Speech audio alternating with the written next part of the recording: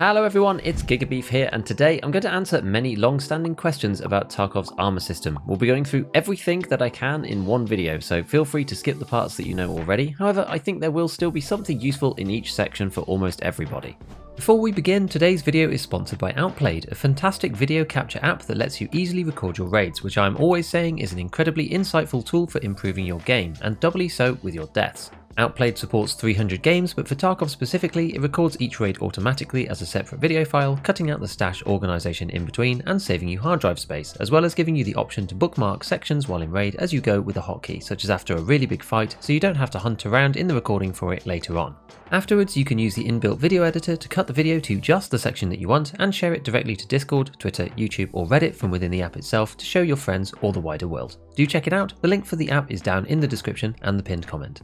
There are four basic chunks around armor and its functionality, which are penetration chance, armor damage, blunt damage, and damage reduction on penetration, which are all important for the full picture of what's actually going on. When a round impacts on an armor, it will either penetrate or not, as well as dealing armor damage to the armor's current durability. If the round fails to penetrate, blunt damage is taken by the wearer, which is a small fraction of the ammo damage. If it does pen, the armor still absorbs some of the bullet's damage, causing it to hit for a percentage of its base. Up until this point, we've got a good understanding of number 1, the penetration chance, as we can see what this number will be using something like Veritas's Battle Buddy app. The pen chance itself is determined through a combination of the bullet's own penetration value versus the armor class, but after the armor is damaged by the first shot, the current durability of the armor effectively lowers the class a bit and progressively increases the chance that a bullet will pen and cause serious damage. The most interesting part about the pen chance calculations is the range for yes a bullet is likely to pen versus no it's very unlikely is actually quite tight. This website lets you visualize it in a nice way but you can see how small the range actually is. A 9 penetration difference can move the chance on shot 1 from 10% up to 90%. It's pretty impactful. Broadly speaking, the rule of thumb is that if the penetration value of a round is 10 times the armor class, that gives you a 90% chance to go through on the first hit at full durability. If the pen is 10 times the armor class minus 3, for example 37 pen against class 4, this is the 50-50 point where you are equally likely to penetrate or not on shot 1. Clearly this matters more or less depending on what gun you have which has to be taken into account at the same time. To have a 90% pen chance against class 5 you'd need 50 pen, and to have an even chance of getting through is 47. This is the reason why 7.62 BP is so powerful. M855A1 for the 5.56 caliber only has 44 pen, but is still considered usable against class 5 due to the fire rate and the recoil of its associated weapons, as it's controllable on full auto which makes hitting multiple times much easier. The final part in the penetration section is the durability of the armor. As the durability decreases, the pen chance increases, and roughly an armor acts like the class below at about 40 to 45% of its max durability, and two classes below at about 20 to 25%. The one point to remember here though is that after being damaged the overall durability remaining is probably quite low, so although the very next shot pen chance is equivalent to the class below, in general it's often worse overall because you're that much closer to zero. A zeroed out armor provides no benefit whatsoever and is effectively as if you aren't wearing anything other than the stat debuff so you may as well take it off unless it's a rig and carrying things for you. In all penetration calculations, the current durability is compared to the original maximum durability. So even if an armor was repaired, say from 0 out of 60 on its first usage where you died and got it back in insurance and is repaired to 53 out of 53, this is the same as 53 out of 60 for the purposes of protection. Damaged armor is less protective even if repaired to what looks like full because it isn't at the original maximum durability. So in order to expand our understanding of the system beyond this, we need to think about armor damage. The penetration calculations all use durability as a percentage of the original maximum to work out what the pen chance should be. This means that all class 4 armors, for example, at full durability have the same chance to absorb a specific bullet. For example, the HiCom Trooper, the 6B3TM rig, and the 6B13 ceramic armor are all class 4 and have the same chance to get penned by, let's say, a round of M856A1 on hit 1, which is 55%. This holds true at the other durabilities as well. At 50%, again all armors of the same class have the same chance to be defeated by a specific round, but because each piece of armor has its own unique durability, the part that changes is how fast it gets down to those percentages.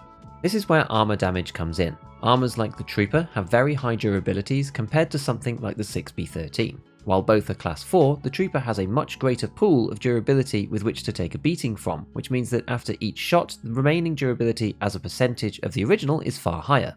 This stops the penetration chance on shot 2, 3, 4, etc. from increasing as quickly as it does with the armors that don't have as much durability. To compare durabilities between armors of the same class, we have to take the actual number that we see in-game and combine it with the material type of the armor itself. This is because each material has an associated destructibility statistic, which can be found on the Wiki Ballistics page, which is a number that tells us how much armor damage gets applied to the armor's durability when it gets hit. The lower the number, the better. A value of 0 here would mean that the armor takes no damage at all from bullets and would never lose any durability, whereas a value of 1 would mean that the armor takes the regular base armor damage with no modifier.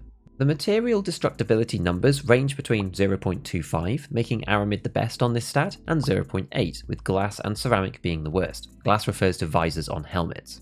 This is a stark difference. Glass and ceramic take over three times more damage to their in-game durability than aramid, which is firstly why this number is so important, and secondly why the in-game durability on its own is fairly meaningless.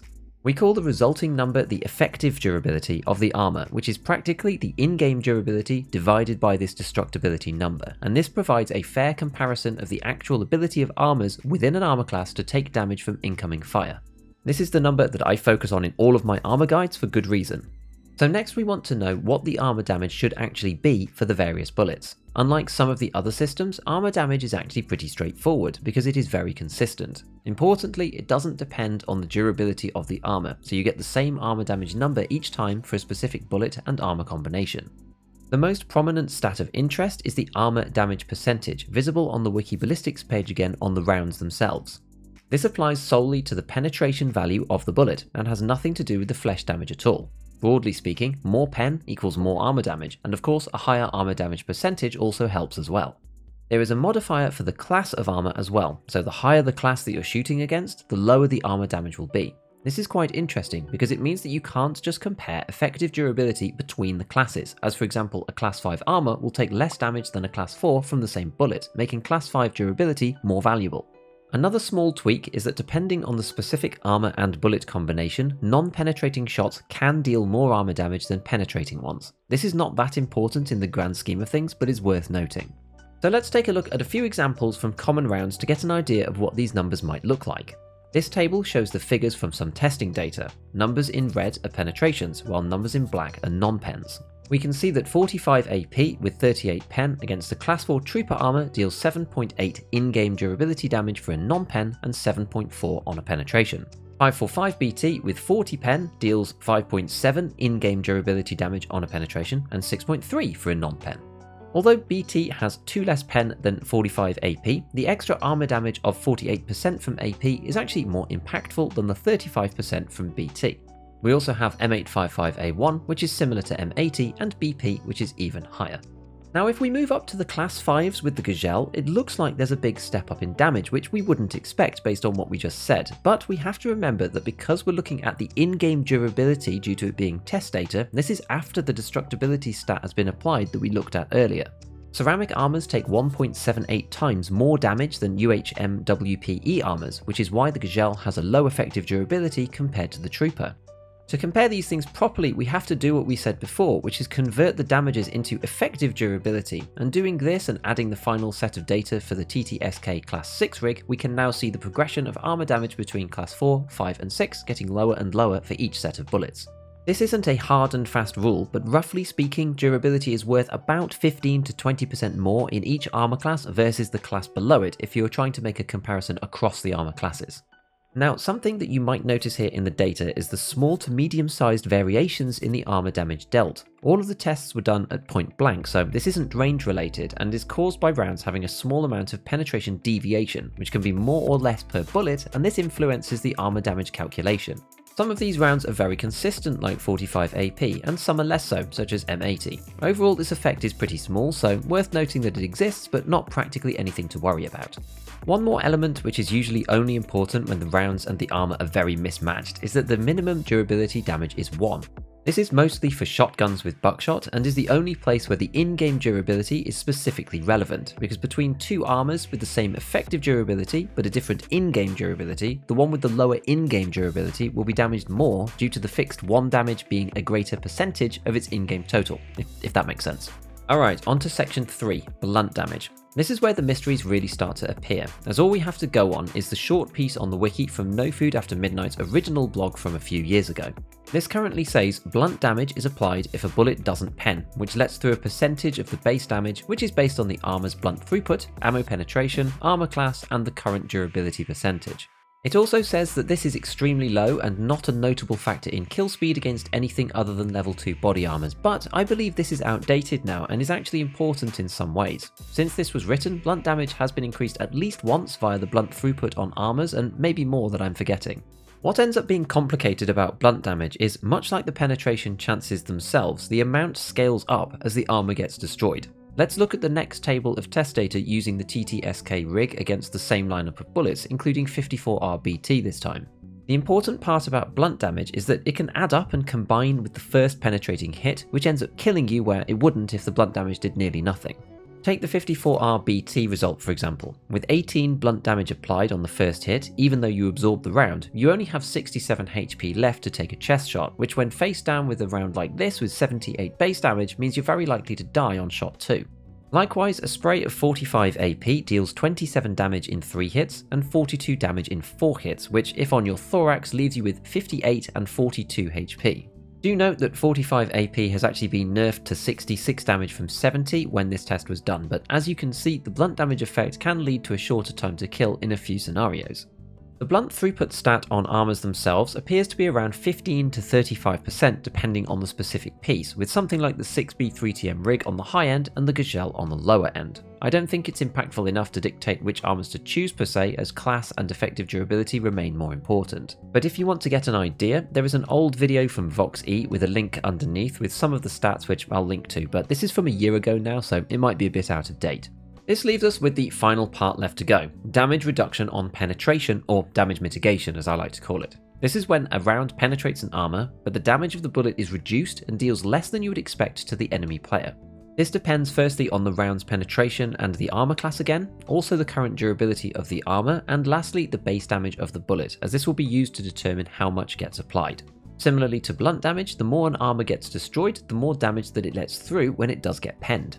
As per the wiki again, the amount of damage reduced is between 0 and 40%, and practically speaking, if your bullet is 10 higher than 10 times the armor class, for example M80 with a pen of 41 versus class 3 armor, or BS rounds with 51 pen against class 4, the mitigation is close to 0 and you'll basically do full damage.